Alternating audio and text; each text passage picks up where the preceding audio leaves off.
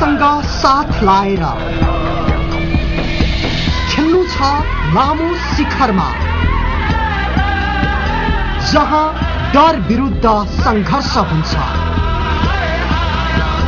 जहाँ साहसको उचाइ नापिन्छ।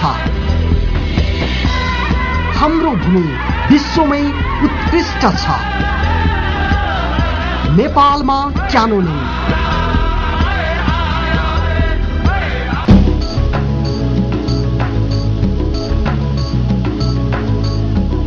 अग्ला झरना भिर र खोजबाट प्राविधिक उपकरण साथै लिएर सतहसम्म आइपुग्ने खेल हो क्यानोनिङ वा क्यानोनियरिङ।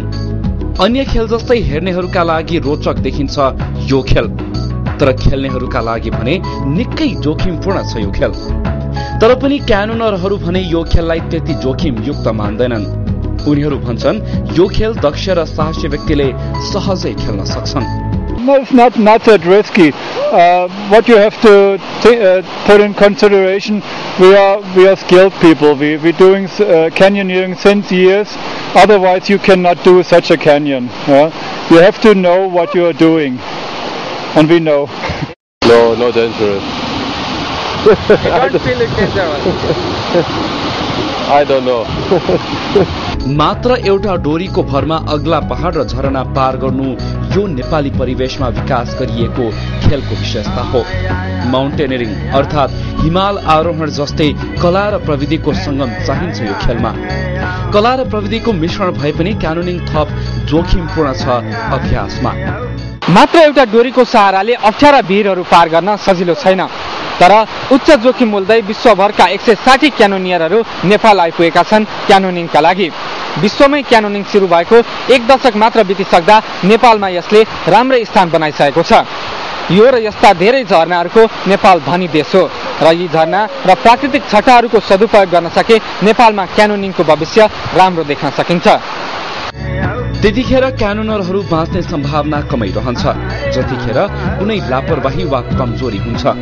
हो डोरी छाडियो भने ढुङ्गामा गाडिएको किला उखेलियो भने टर्दै नटर्ने खतरा आइपुग्छ।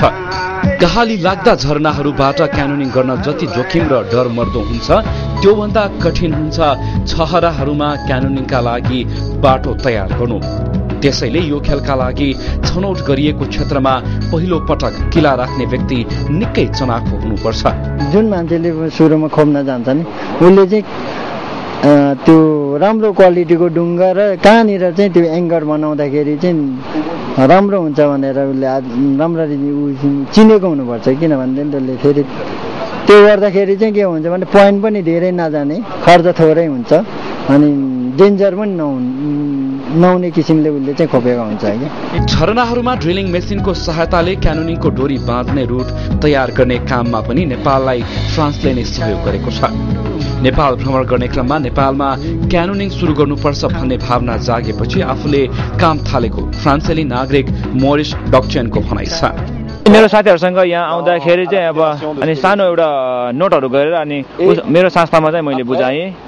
Des canyonistes français. अनि त्यसपछि अब क्यानिङ गर्ने नेपाली रोदोल स्टोम अनि युएनएल डिएस अनि उनीहरू चाहिँ म कहाँ आएँ अनि त्यसपछि मैले उनीहरूलाई सबै फोटोहरू दिएँ अनि त्यसपछि मैले सबै फोटोहरू उहाँलाई देखाएँ अनि त्यसपछि अनि हाम्रो क्यानिङको सो हिस्ट्री सुरु भयो अनि त्यसपछि हाम्रो एउटा संस्था छ अनि उसको नाम चाहिँ हिमाल पिरामिस हो अनि त्यसपछि हामीले चाहिँ अनि त्यसपछि चाहिँ अब हाम्रो त्यो संस्थाले चाहिँ अब कविन्द्र र राजेशले चाहिँ अब ट्रेनिङ गर्नलाई फ्रान्समा पनि बोलाए। अनि त्यसपछि अब यस्तै यस्तै कुराहरू भयो अनि अहिले अब एक्सपिडिसन नार्फु भयो अनि अब यो रिक पनि भयो। अनि त्यसै गरी सुरु भएको यहाँ। अनि बिस्तारै बिस्तारै। फ्रान्समा नेपालभन्दा कम उचाइका झरनाहरूमा क्यानोनिङ गरिरहेका मोरेसका लागि नेपाली झरना निकै महत्वपूर्ण लागेको रहेछ र दुई नेपालीलाई क्यानोनिङको तालिमका लागि फ्रान्स लैजाने वातावरण पनि मिलाएको रहेछ। क्यानोनिङ अनि केभिङ गर्ने कि? अनि माउन्टेनिङ गाइडहरू पनि थियो। उहाँहरूले चाहिँ मलाई क्यानोनिङमा लगाएको थियो कि। फर्स्टचोटि मलाई थाहा नै थिएन क्यानिङ भने के हो। कस्तो हो? म त त्यतिकै गएको कि उनीहरू पछि लागेर। एकैचोटि खोलामा झर्नमा लग्यो कि? त्यो चाहिँ स्पेनमा पर्छ कि? त्यो चाहिँ सेरा र गुवारा भन्छ। त्यहाँ चाहिँ सबभन्दा बढी जान्छ कि क्यान्डिङ गर्नलाई? त्यहाँ लग्यो होइन। त्यहाँ चाहिँ हाम्रो जस्तो यस्तो ठुलो चाहिँ छैन। तर त्यहाँ चाहिँ स्लाइडिङ जम्पिङ अनि सानो दस मिटर आठ मिटर चाहिँ डोरीमा तल जानुपर्ने थियो कि? त्यहाँ गएपछि चाहिँ मैले त्यो पन्ध्र सोह्र दिन चाहिँ म चाहिँ क्याम्प क्याम्पमा बस्थेँ कि। हामी साथीहरू मिलेर चाहिँ क्याम्पिङ क्याम्पिङमै कि? दिनभरि क्यानिनिङ र क्लाइम्बिङ गर्ने अनि क्याम्पमा बस्ने। अनि त्यो बेलामा चाहिँ मैले धेरै हाम्रो नेपालमा चाहिँ यस्तो त धेरै छ। हामीले खोल्न सकिन्छ भनेर भनेपछि हामीले चाहिँ यो ट्रेकिङ गर्थेँ कि म। ट्रेकिङ आउँदाखेरि यताको चाहिँ मैले फोटोहरू खिच्थ्यो अनि त्यो पठाउँदिन पठाइदिन्थेँ कि। त्यसपछि चाहिँ बल्ल टु थाउजन्ड फोरमा चाहिँ यो फ्रेन्ड्सहरू यहाँ खोल्नको लागि होइन। फ्रान्समा दस महिनाको तालिम लिएपछि दुई नेपाली युवक राजेश र कविन्द्र लामाले तीनै फ्रान्सेली नागरिक मोरेसको सहयोगमा नेपालमा पनि क्यानोनिङका लागि विभिन्न झरनालाई प्रयोगमा ल्याए। नेपालमा औपचारिक रूपमा क्यानोनिङ शुरू भएपछि सन् दुई हजार सातमा नेपाल क्यानोनिङ एसोसिएसन पनि स्थापना भयो र यसले व्यावसायिक रूप पनि पायो।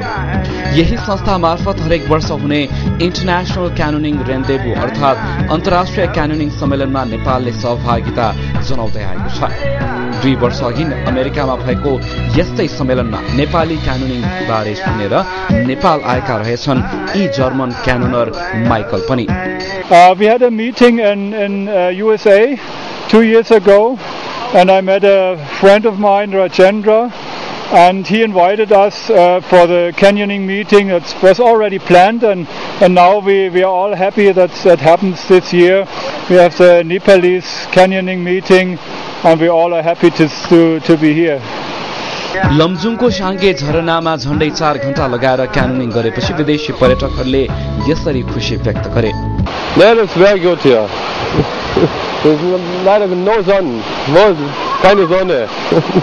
Nepal is a very nice country and uh, they had a lot of waterfalls, so that's fine. Okay, finish it. And uh, yeah, it's a pretty pretty nice canyon, but uh, technical wise, it's a little little difficult sometimes. Uh, we are skilled people. हरेक वर्ष हुने अन्तर्राष्ट्रिय canyoning सम्मेलन यो वर्ष नेपालमा भयो दक्षिण एसियामै पहिलो पटक भएको सम्मेलनका लागि मात्रै दुई सय भन्दा बढी पर्यटक नेपाल आए तीमध्ये एक सय सडसठी जना क्यानोनरले क्यानोनिङ गरेर सम्मेलनमा भाग लिए त्यसो त क्यानोनिङ शुरू भएको विश्वमै एक दशक मात्रै हुँदा नेपालले पनि क्यानोनिङ बैठक आयोजना गर्नु आफैमा उपलब्धि हो। नेपाली क्यानोनरहरूको यो उपलब्धिलाई नेपाल सरकारले कसरी हेर्ने हो यसको उत्तरका लागि आगामी दिनमा हुने विकासक्रम कुर्नै पर्ने हुन्छ।